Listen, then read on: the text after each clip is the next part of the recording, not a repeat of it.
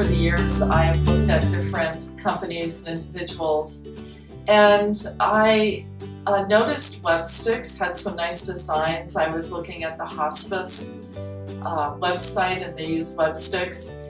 And then I, I pursued them and found out that they had the kind of design that I wanted for the Lutheran Office for Public Policy in Wisconsin.